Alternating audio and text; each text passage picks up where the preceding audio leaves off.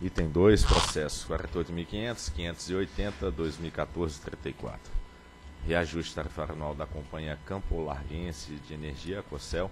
a vigorar a partir de 24 de junho de 2014. Diretor relator, doutor Reive Barros.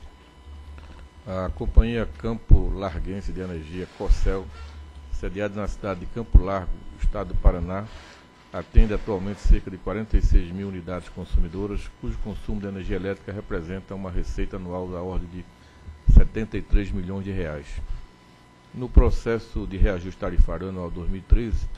as tarifas da COCEL foram em média reajustadas em 2,32%, sendo 8,01% referente a reajuste econômico e menos 5,69% relativos aos componentes financeiros, conforme consta na resolução homologatória número 1542 de 20 de junho de 2013 e alterada pela resolução homologatória 1566 de 9 de julho de 2013. Em 27 de maio de 2014, a COCEL encaminhou à ANEL proposta de reajuste tarifário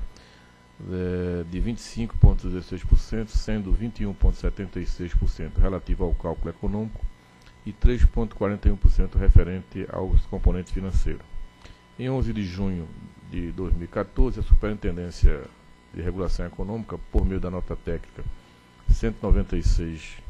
de 2014, consolidou a proposta de reajuste tarifário de 2014 da COCEL, é o relatório. A Procuradoria já se manifestou, então nós passamos direto para a fundamentação. O reajuste tarifário anual médio da COCEL leva a um efeito médio a ser percebido pelos consumidores cativos no valor de 40,42%, sendo composto pelo índice médio de reajuste econômico de 34,88%, acrescido do índice médio correspondente aos componentes financeiros incluídos nesse reajuste no total de menos 2%, descontando-se o índice médio de 7,54% relativo aos componentes financeiros. E nesse caso nós apresentamos aí ah, o porquê do valor de 34,88%, 4,42% menos 34,38%, mais menos 2% e somando a 7,54%. Na tabela 1, apresenta o efeito médio para o consumidor cativo, no caso específico de alta tensão, 43,44% e de baixa tensão de 37,24%, correspondente a um defeito médio de 40,42%.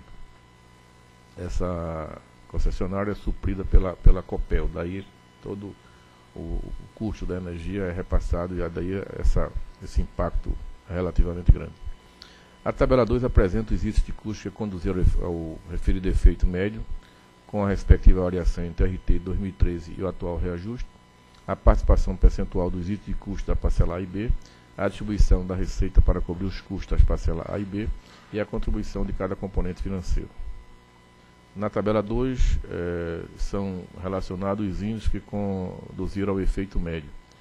Encargos setoriais dá uma variação de 27,17%, compra de energia é um valor referente a 50,25%, portanto, um valor expressivo, né, altamente considerável e que tem um impacto no IRT no valor de 29,74%. No caso específico, o reajuste total dá 34,88% e é, representa um reajuste tarifário com financeiro da ordem de 32,88%, que retirado é, os efeitos do componente financeiro da reajuste tarifário anterior no valor de 7,88%, 54% dá um efeito médio a ser percebido pelo consumidor na ordem de 40,42%. Cabe destacar que a tarifa B1 residencial da COCEL apresentou uma evolução nos últimos sete anos bem abaixo da variação do GPM ou IPCA no mesmo período, conforme demonstrado no gráfico abaixo. Então, da mesma forma do voto anterior, eh, nós percebemos que houve uma variação significativa de 278,97 para 37 378,41, mas é, um valor muito abaixo do verificado na variação do GPM e na variação do IPCA, e valor esse que fica basicamente no, no praticamente no, no, patamar observado em junho de, de 2007. Quer dizer, a diferença é relativamente pequena, entre 356,29 para 378,41. Os custos da parcela A representam 75,12% da receita econômica da concessionária. O aumento desses custos corresponde por 33,16 pontos percentuais, no total de 34,88 que compõem o índice de reajuste tarifário econômico da COCEL. Dentre os custos que compõem a parcela A, deve ser destacado aquele relacionado com a compra de energia, que impactaram em 29,74 pontos percentuais o índice de reajuste tarifário. Essa variação se deve ao aumento da tarifa da COPEL para a COCEL, que passou de R$ 139,79 por megawatt-hora para R$ 209,97 por megawatt-hora. Na tabela T3 apresenta a variação da compra de energia por tipo de contrato. Então, no contrato do tipo bilateral com a COPEL, no processo anterior tinha 299,530 houve um aumento de 4,61% da, da, compra de energia.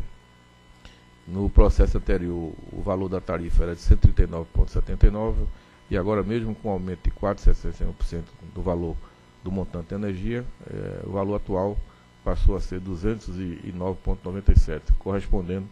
a uma variação só desse item de 50,2%. Portanto, o valor final eh, percebido no custo da energia ficou em torno de 50,25%. Os custos da parcela B representam 24,88% da receita econômica da concessionária. A atualização da parcela B em 5,41%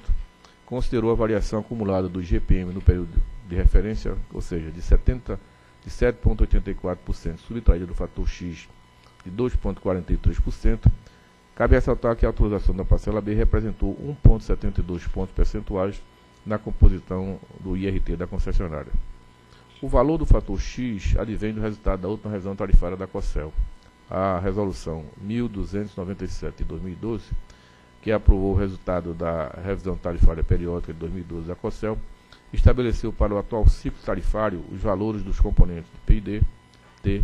e o fator X em 1,64% e 0,78%, respectivamente, a serem aplicadas na atualização da parcela B no reajuste tarifário da concessionária no período de 2013 a 2015. Conforme metodologia definida no submódulo 2.5 dos procedimentos de regulação tarifária PRORET, a definição do fator X envolve também a componente, o componente Q, de qualidade, determinado no momento de cada reajuste tarifário anual para ser aplicado na atualização da parcela B da concessionária. Esse componente é calculado a partir da variação dos indicadores de DEC e FEC apurados nos últimos dois anos disponíveis. Considerando a variação média de menos 4,12% dos indicadores de DEC e FEC da COCEL entre os anos civis de 2012 e 2013 e o desempenho relativo da concessionária alcançou-se o valor da componente Q de zero a ser aplicado na parcela B e o reajuste tarifário de 2014 da distribuidora. Assim, o valor final do fator X foi de 2,43%, o que resultou na variação da parcela B em 5,41%, conforme apresentado na tabela 4. Na tabela 4 é apresentado os resultados obtidos do fator X, as suas componentes, valores de GPM e PCA, componente P do fator X, componente T e componente Q, isso dá um fator X de 2,43%, que subtraído do GPM de 7,84%, nós elevamos a um valor de 5,41%. No que diz respeito aos componentes financeiros a serem recuperados no próximo período tarifário, que representa a variação na tarifa de menos 2%, destaca-se os financeiros decorrentes da compra de compensação, conta de compensação de variação de valor dos itens, da parcela CVA Energia, da subvenção da CDE, da redução tarifária equilibrada e do ajuste financeiro supridora versus supridora, suprida versus supridora,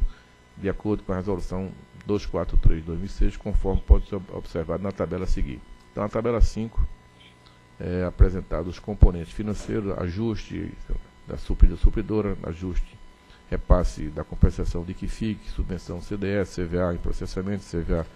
energia setor da energia comprada, e no final é, chegamos a uma soma total de menos 2%. A CVA compensa os efeitos financeiros que ocorrem entre as datas de reajuste barra revisão da parcela conforme disposto na portaria interministerial número 25 de 24 de janeiro de 2012, do Ministério de Energia e do Ministério da Fazenda. Esses valores da CVA até o dia 5 dia útil anterior à data do reajuste foram atualizados em taxa média anual pela Selic. No atual processo de reajuste da COCEL, está sendo considerado o financeiro relacionado ao artigo 5 da Resolução Normativa 243 de 2006, relativo à contratação de energia e uso do sistema de distribuição com a Copel Distribuidora, sendo R$ 1.878.423,59, relativo à tarifa de energia, e menos R$ 947.430,10, é, referente à, à TUSE, que corresponde a um quinto do saldo estabelecido pela realização homologatório 1542-2013. Esse valor deverá ser repassado à COPEL em 12 parcelas mensais iguais, a partir de julho de 2014, nos processos subsequentes de reajuste ou revisão tarifária da COCEL, que deverá ser avaliada a capacidade de repasse desse financeiro às tarifas da concessionária, cujo valor remanescente é de R$ 3.723.973,96, tudo isso com base em junho de 2014. Quanto ao financeiro referente à subvenção eh, da CDE, redução de tarifa equilibrada, a CDE deve prover recursos para compensar o efeito da não adesão à prorrogação das concessões de geração de energia elétrica com vistas a assegurar o equilíbrio da redução das tarifas das concessionárias de distribuição, do que trata o artigo 1 do parágrafo 2 da Lei 12.783 de 2013. No atual processo tarifário da COCEL foi mantido o mesmo valor anual de subvenção, da subvenção da CDE, estabelecido na revisão extraordinária tarifária extraordinária de 2013, um total negativo de R$ 4.494.158,88, de modo a preservar o equilíbrio econômico-financeiro contratual da distribuidora, a redução equilibrada das tarifas e a modicidade tarifária. Desse modo, deverá ser repassado pela Eletrobras à COCEL, a partir da competência de junho de 2014, o valor mensal de R$ 374.403,24. Quanto à subvenção CDE para desconto tarifários, nos termos do inciso 7 do artigo 13º da Lei 10.438 de 2002, e conforme dispõe o decreto número 7.891 de 2013, a CDE, além de suas demais finalidades, deve custear descontos incidentes sobre as tarifas aplicáveis aos geradores e consumidores de fonte incentivada, serviço de irrigação e aquicultura em horário especial, serviço público de água, esgoto e saneamento, distribuidoras com mercado próprio inferior a 500 gigawatt hora ano, classe rural, subclasse cooperativa de eletrificação rural e serviço público de irrigação. Sendo assim, o valor a ser repassado pela Eletrobras à distribuidora no período de junho de 2014 a maio de 2015 até o décimo dia útil do mês subsequente é de R$ 119.832,94 que contempla o ajuste referente à diferença entre os valores previstos e os realizados no período de fevereiro de 2013 a maio de 2014, bem como a previsão para o período de junho de 2014 a maio de 2015. As figuras 2 e 3 apresentam a participação de cada segmento de custo na composição da receita da concessionária, com e sem tributos, ou seja, a proporção da fatura de energia elétrica que se destina às atividades de geração, no caso, compra e de energia, transmissão e distribuição, incluindo custo de operação e manutenção, e a depreciação dos ativos e a remuneração do capital investido, e ao pagamento dos encargos setoriais. Então, na figura, as parcelas A e B da receita anual, é, apresenta o custo da energia de transmissão, no caso 4,8%, custo de encargos setoriais, custo da distribuição de 24,9%, e aí sim, o, o, valor que é significativamente representativo, que é o custo da energia que corresponde a 65,9%. O caso, quando considera com sem tributos, é, 28, o custo da energia 47,30% e a questão de tributos e encargos no valor de 28,36%,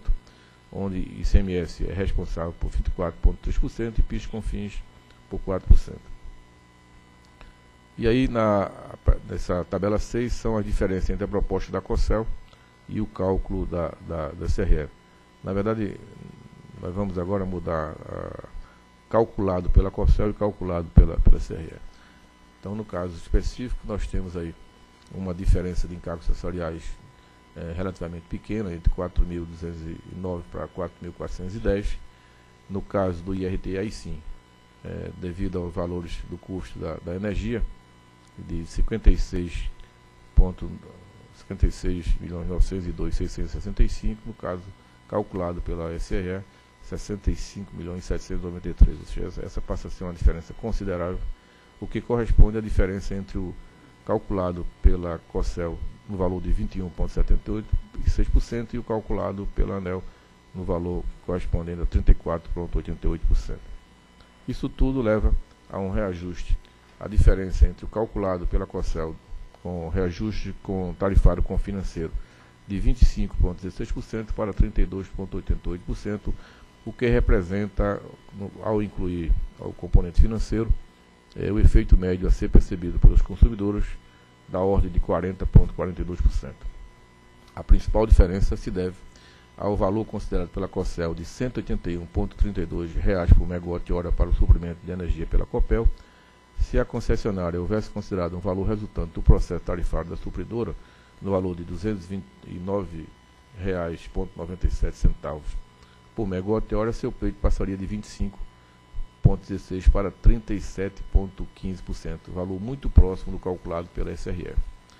Além dessa questão, também contribuíram para a diferença observada entre o pleito da distribuidora e o índice de reajuste tarifário calculado pela SRE, a previsão de GPM utilizada pela distribuidora para a atualização da parcela B, a previsão da TFSSE e o fato de ter desconsiderado o financeiro referente à subvenção da CDE no que diz respeito à redução tarifária equilibrada.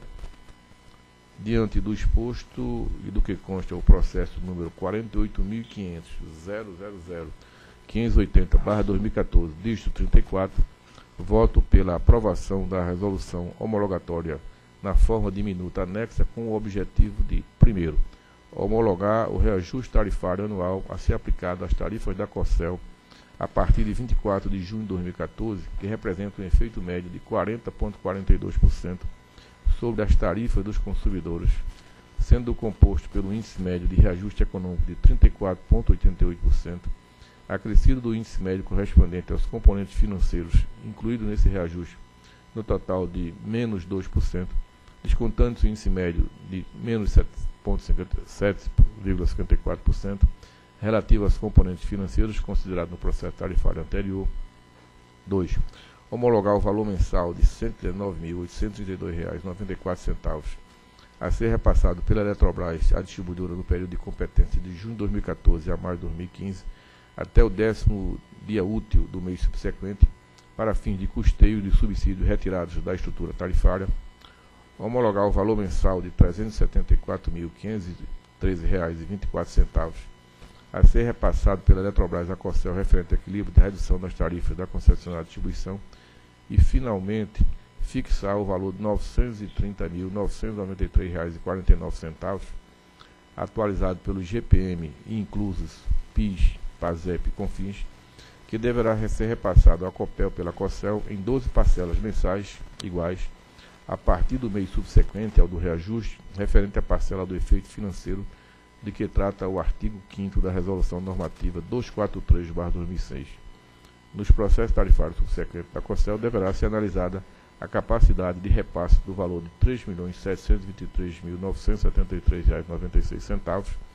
relativo à parcela remanescente do efeito financeiro é o voto. Em discussão. Bem, aqui, em reforço do que já foi dito no processo anterior, doutor Reive, você frisou bem, bem, só essa, no caso dessa concessionária Cocel, que ela é suprida pela Copel, seria impossível ela fazer o cálculo correto, porque depende, como ela é suprida pela COPEL ela depende da definição que foi tomada no processo anterior para fazer o seu cálculo. Né? Tanto é que tem uma diferença substancial e aí reforça-se o que já se falou no processo anterior. Quer dizer, não é correto chamar do pleito, e o que a ANEL concedeu, fica parecendo que ele pleiteou 25, a ANEL concedeu 32. Não é isso. Ela fez um cálculo e ela assumiu uma premissa do que seria o valor da energia que ela é suprida pela COPEL, e que o resultado do processo tarifário da COPEL resultou num valor diferente daquele. Então, de novo, é uma questão de fazer o cálculo correto com os elementos que só a ANEL dispõe em forma definitiva. Então, aqui reforça-se aquela ideia de que tem que rever essa ideia de que a empresa pleiteia um valor e a ANEL concede um valor. Não é isso. É um, o cálculo feito tendo os elementos que permitem fazer o cálculo, que só no, no caso da Corcel, só agora nós temos dado que acabou de se aprovar o valor da, da, da Copel. E aqui chama atenção que realmente como ela é suprida pela, pela basicamente, tem uma questão pequena lá do Proinfa, mas ela é suprida pela Copel, então como o reajuste da Copel foi no patamar que foi, e ele incidiu mais intensamente sobre a energia, como foi explicado, por isso que a tarifa de energia que a Cocel paga para a Copel variou muito mais do que a própria IRT da, é, da Copel. Mas olhando lá no gráfico do item 9, né, que é aquele gráfico que mostra a evolução da tarifa, é, dá para se perceber que aqui no período a variação da tarifa da Corcel foi bem menor do que o GPM e o PCA, quer dizer, ainda bem menor do que no caso anterior da Copel. É claro que ela parte de uma tarifa muito maior do que o da, da, da, da, da Copel. Se olhar 2007 aqui, que ela parte de uma tarifa de 356 reais por megawatt-hora, e a Copel partia de uma tarifa de 255. Quer dizer, então tem uma diferença de 40% na partida. Bem, aqui nota-se que no curso, nesses sete anos, buscou aquele princípio que o doutor André comentou no processo anterior da modicidade tarifária. Modicidade tarifária é que foi alcançada tanto no, nas revisões tarifárias como na relação entre a distribuidora e a e, é, suprida e a supridora, que tem um item aí no voto, que inclusive tem um diferimento de um valor que busca exatamente é, mitigar. E aí a tarifa é, em 2014 há uma convergência, quer dizer, se tinha 40% de variação lá em 2007, agora a variação da tarifa da Copel e da Corcel é apenas de 8% nessa chegada. Então, o que é no meu modo de ver, um princípio que deve ser buscado, na medida do possível, que não haja uma disparidade tão grande como havia em 2007, de tarifa de uma concessionária que é ali suprida por outra de 40%. Então, eu acho que aqui o processo tarifário busca essa convergência. Quer dizer, o grande índice aqui observado, é, como já foi explicado, decorre essencialmente do valor da tarifa da Copel, que é supra-Cocel, então nesse caso impactou de maneira muito relevante o IRT. Okay, então, em, em votação. Voto com o relator. Também voto com o relator. Voto também com o relator. Proclamo que a diretoria então decidiu por homologar o reajuste tarifário anual a ser aplicado às tarifas da COCEL a partir de 24 de junho de 2014, que representa um efeito médio de 40,42% sobre as tarifas dos consumidores, sendo composto pelo índice médio de reajuste econômico de 34,88 e acrescido aí os financeiros mencionados.